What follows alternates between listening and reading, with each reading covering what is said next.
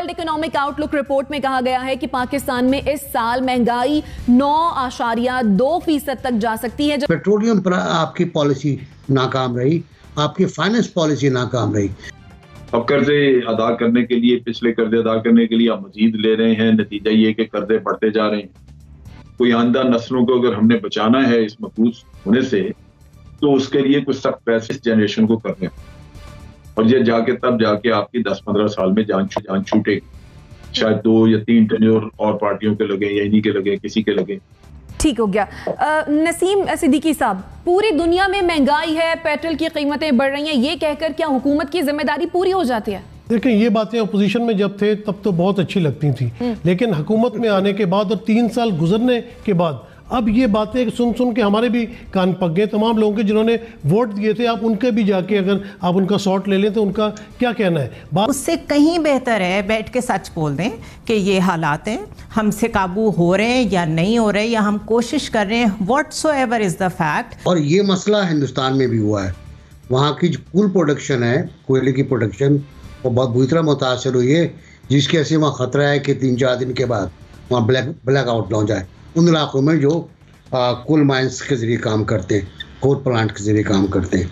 लेकिन वो अब काबू पा लेंगे, क्योंकि उनके पास बहुत ज़्यादा फॉरेन एक्सचेंज रिज़र्व हैं बिलियंस के अंदर। हेलो फ्रेंड्स अपना हिंदुस्तान न्यूज़ में आपका स्वागत है। पाकिस्तानी मीडिया इस वीडियो के अंदर बता रही है कि हमें रोज़ नई बुरी खबर सुनने को मिलती है कहीं ना कहीं से। अब वर्ल्ड इकोनॉमिक रिपोर्ट ने बताया है किस तरीके से पाकिस्तान के अंदर इन्फ्लेशन नाइन परसेंट से ऊपर रहेगी, जिसकी वजह से सारी चीज़ों के ऊपर महँगाई बढ़ जाएगी और पहले से ही जो पाकिस्तान में दिक्कत है, उनमें इजाफा हो जाएगा। इसका कारण यह है कि पूरी गवर्नमेंट फेल हो चुकी है महँगाई को काबू करने में और इमरान खान की पॉलिसी बिल्कुल ज़ीरे हुए हैं पिछले तीन साल के अंदर। ना तो ये फाइनेंशियल उसमें ठीक रहा, ना तो फॉरेन मैटर्स में ठीक रहा। यही कारण है पाकिस्तान के अंदर और विदेश के अंदर इमरान खान की इमेज गिरती चली जा रही है और कोई भी इस समय इमरान खान की बात मानने को तैयार नहीं है। ऐसे ही चलता रहा तो हमें हर चीज़ गिरवी रखनी पड़ेगी मुल्क की। और उन्होंने भारत का भी एग्ज़ाम्पल दिया कि किस तरीके से कोल की दिक्कत चल रही है पूरी दुनिया के अंदर, मगर भारत ने इसे अच्छी तरीके से टैकल किया क्योंकि भारत के पास, क्योंकि भारत के पास बिलियंस ऑफ़ डॉलर्स के फॉरेन रिज़र्व है, जिसकी वजह से वो किसी भी मुसीबत से निपट सकता है। आइए इस वीडियो को देखते हैं। आवाम के लिए बुरी खबरें आने का सिलसिला थमने का नाम नहीं ले रहा।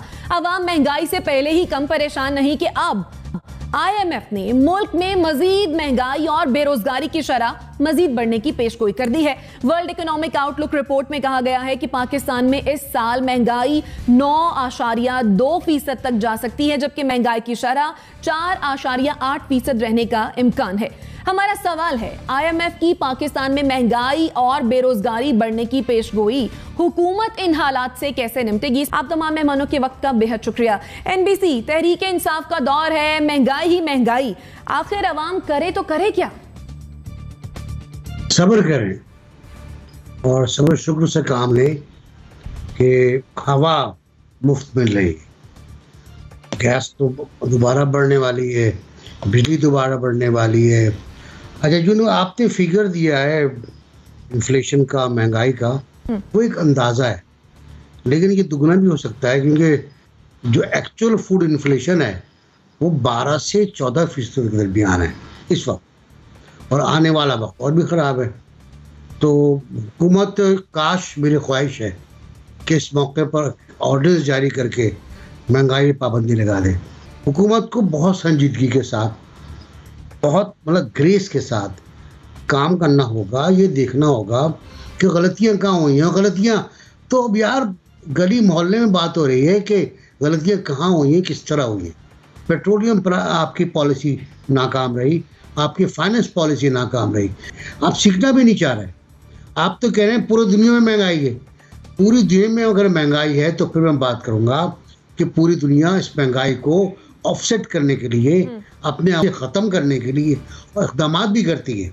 जनरल साहब जिस तरह से एनबीसी ने भी पॉइंट आउट किया कि जो प्रिडिक्शन आईएमएफ की जानब से की गई है जिन फैक्ट्स एंड फिगर्स की हालात उससे भी ज़्यादा खराब हो सकते हैं। क्या वाकई? उसमें आप देख लीजिए कि सबसे ज़्यादा तो बोझ आपके ऊपर कर्जों का है। अब कर्जे अदा करने के लिए पिछले कर्जे अदा करने के लिए आप मजीद ले रहे हैं नतीजा ये कि कर्जे बढ़ते जा रहे हैं। लेकिन जहाँ तक कर्जे का ताल्लुक है, वो तो मैं हमेशा कहता हूँ कि ये कोई भी अकेली पार्टी अगर फैसला करेगी, वो कुछ नहीं कर सकेगी। ये बड़ा लंबा चक्कर में हम फंस चुके हैं ऑलरेडी इसकी ज़रूरत यही है कि तमाम पार्टी मिलके सख्त फैसले करें, कौम को बहुत बोझ उठाना होगा, तब जाके जान छूटेगी। कोई आंदा नस्लों को अगर हमने बचाना है इस मकबूज होने से तो उसके लिए कुछ सख्त फैसले जनरेशन को करने और ये जाके तब जाके आपकी दस पंद्रह साल में जान जान छूटेगी।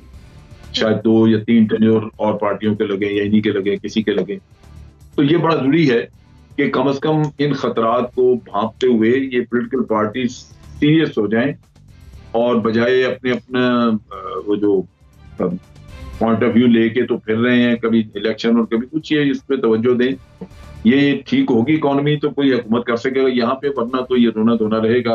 अवाम आज रो रहे हैं बिल्कुल कल भी रोएँगे अगली पार्टी आके अगर मैं इस बात पे मुझसे कि सवाल ही पैदा नहीं होता कि अगली पार्टी हाँ। अगली कोई हुकूमत और आ जाए तो वो आके उन्नीस बीस के फ़र्क से ज़्यादा को फ़र्क पैदा कर सके बहुत मुश्किल। ठीक हो गया। अ, नसीम सिद्दीकी साहब पूरी दुनिया में महँगाई है पेट्रोल की कीमतें बढ़ रही हैं ये कहकर क्या हुकूमत की ज़िम्मेदारी पूरी हो जाती है? देखिए ये बातें अपोजिशन में जब थे तब तो बहुत अच्छी लगती थी।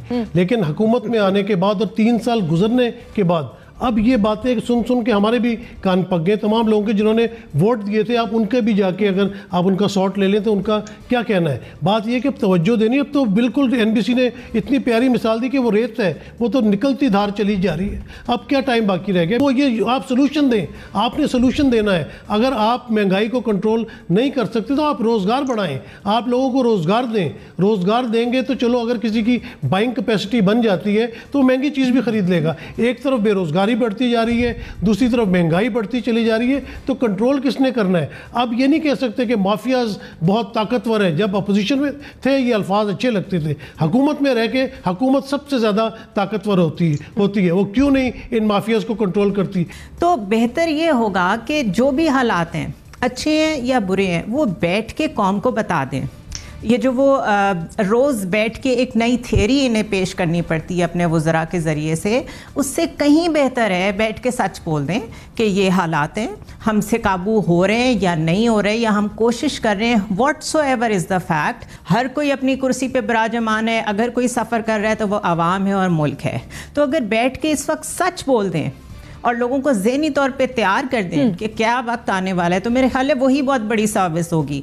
ब्लूमबर्ग की रिपोर्ट थी कि सप्लाई चेन इतनी बुरी तरह मुतासर हुई है इस वक्त पूरी दुनिया में कि नेक्स्ट विंटर्स के लिए कार्गो शिप्स का एक, की एक लंबी लाइन है कतर में कि वो नेक्स्ट विंटर की तैयारी करके बैठे हुए हैं। मुझे ये नहीं पता कि हमारे पास इस विंटर के लिए भी गैस है कि नहीं है क्योंकि ये लोग ऑर्डर करना भी भूल जाते हैं।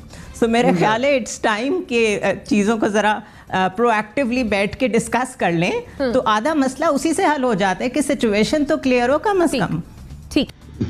चूल्हे शायद ना जल पाए आप लोगों के। बड़े मसाइल सामने आ रहे हैं क्योंकि जो कार्गो आने थे वो डिले हो गए। हैं और ये मसला हिंदुस्तान में भी हुआ है। वहाँ की जो कुल प्रोडक्शन है कोयले की प्रोडक्शन वो बहुत बुरी तरह मुतासर हुई है जिसके ऐसे वहाँ खतरा है कि तीन चार दिन के बाद वहाँ ब्लैक ब्लैक आउट ना हो जाए। उन इलाकों में जो कोल माइंस के ज़रिए काम करते हैं कोल प्लांट के ज़रिए काम करते हैं। लेकिन वो अब काबू पा लेंगे क्योंकि उनके पास बहुत ज़्यादा फॉरेन एक्सचेंज रिज़र्व हैं बिलियंस के अंदर। अब जो बात है वो ये है कि हम क्या करें? भाई, अपनी प्रोडक्शन बढ़ाइए आप। और अपनी एक्सपोर्ट बढ़ाइए। डॉलर लीज लीजिए। आप वो कर नहीं पा रहे। क्योंकि कभी गैस बंद कर रहे हैं अपनी आप, कभी इंडस्ट्री बंद कर रहे हैं, कभी एक्सपोर्ट इंडस्ट्री पर असर पड़ रहा है।